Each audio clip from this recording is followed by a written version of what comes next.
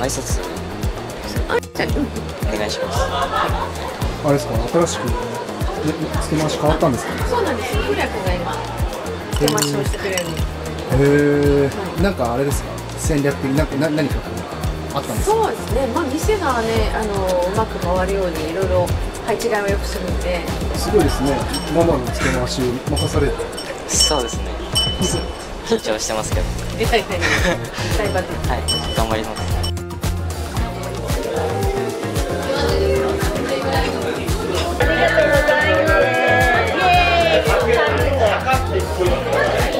浅川さんができれば早くお願いしたい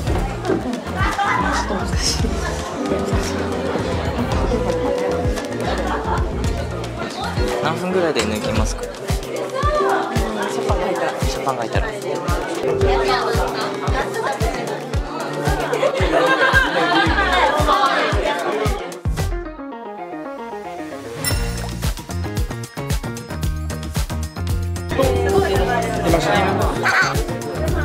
プラ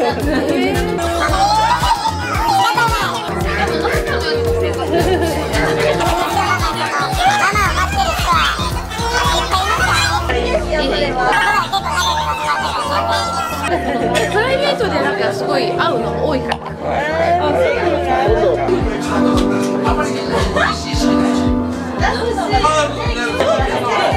出たら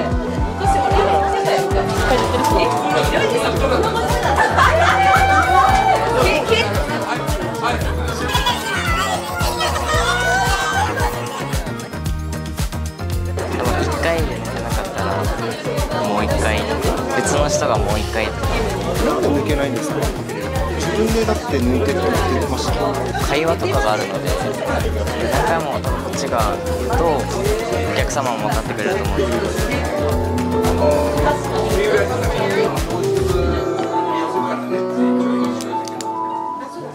もうそろそろつけないとやばいですね話失礼いたします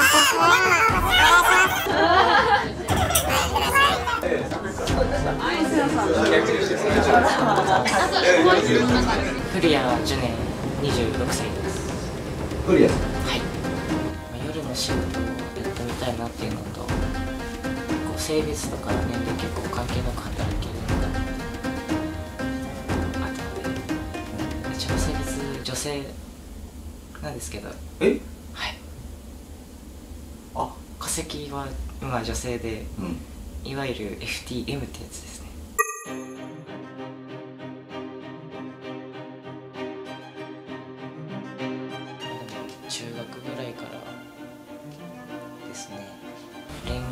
とかはもう女性の方なので。で、ま治療をずっとしたいなと思っててなかなか仕事前の仕事が辞められずずるずる来て辞められるってなった時にもうすぐ手術とかしたのでお願いも戸籍だけ女性まだ。私たちって結構ゲーバーも行けばニューハーフのお店も行けば結構行くんですよ。なので LGBT の友人はたくさんいるのであんまり気にしないです。ホステさんにたまにいるんですよ。元男の人が。へ今はクラブ7人はいないですけど他のお店いますよ。売り上げナンバーワンとか。えへえ黒服も今うち女性入れるじゃないですか。はい。他の店もそうですけど黒服の女性も増えてきてますね。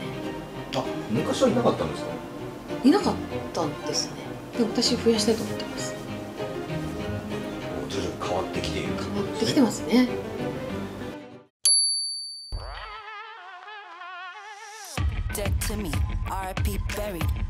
荷物置いてくるそ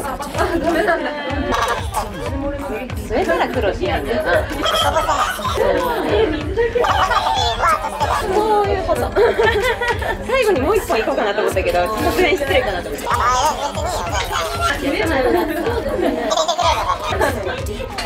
ロットだけじゃあお隣失礼です。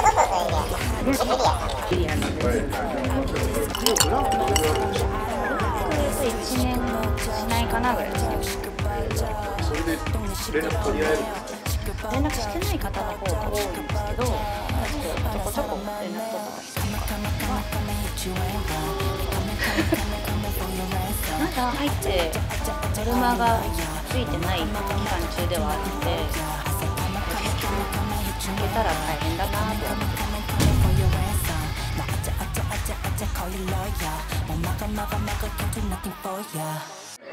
なんかやっぱお寿司屋さん連れて行ってくれるお客さんとかも私は全然いないから。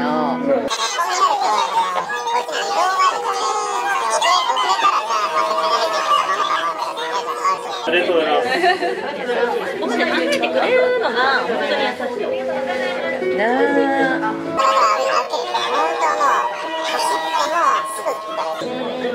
そうすぐそこあ本当そう韓国って読むので検索してます。電波が悪くて全然もうね面接ができない本会社の由来は何でしょう？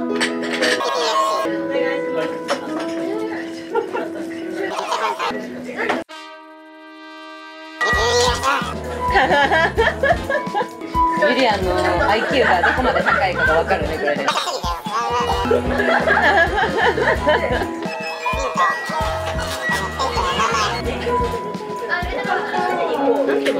ユリアね多分ごめん。ローマ字知らないと思うユリアはもともとあれあの仲良くてこの店の前から仲いいんですよあそうなんですかだから信頼関係あるしお客さんに対して変なことしないっていうしても何かあってもすぐ言ってくれるし。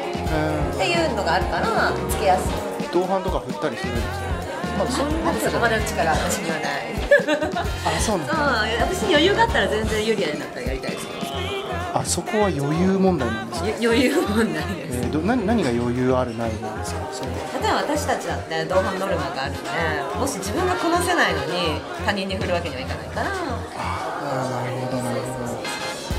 何度かお席に着けばお話、ね、面と向かってお話もできるし言いやすいなとは思うんですけど一回座っただけだとなかなか難しいですよね。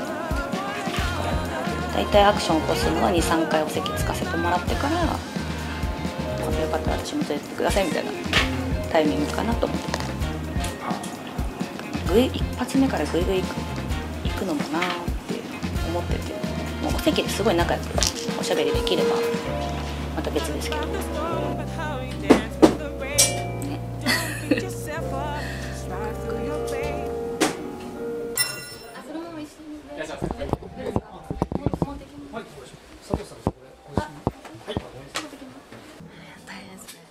大変なんだ。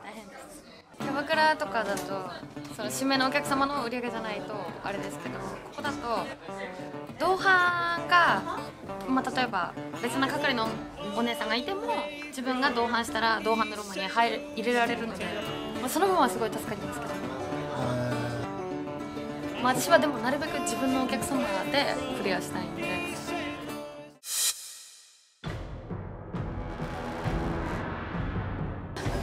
銀座のクラブはここでもある、で銀座だけじゃなく普通の昼間の方たちがいて、って話じゃない？仕事だね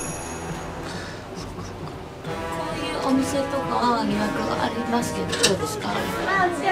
聞いちゃうんですか？聞く聞く一緒にご飯食べます、い、いですか？誘って。その次の同伴の約束も取りますミコさもうそれでさ完結してるじゃん。ああ言った上でやっちゃえばいいそうそうそうそう。あなんでやっちゃうな。びっくりしたそういうねつまんない本当にダメ。まずは同伴を取れなければ売り上げなんかできないじゃないですか、はい修行ですよね。まず同伴をするにはそうやって人間関係を作っていったりとかどれだけお客様に尽くすどれだけお姉さんに尽くすっていう修行から始まっていくわけですよ。でだんだん成長してきてすごく空気を読んだりとか一生懸命人に尽くせたりとかするようになるとだんだん売り上げがついてくるんですよ。どっからかっていうとじゃあ誰かがややめますか体調崩してやめますとかどっか移りますとか。でそのお客様に本当に尽くしてたらちょっと君で行くわってなるんですよ。じゃあ全部はもう信頼関係。人として成長します。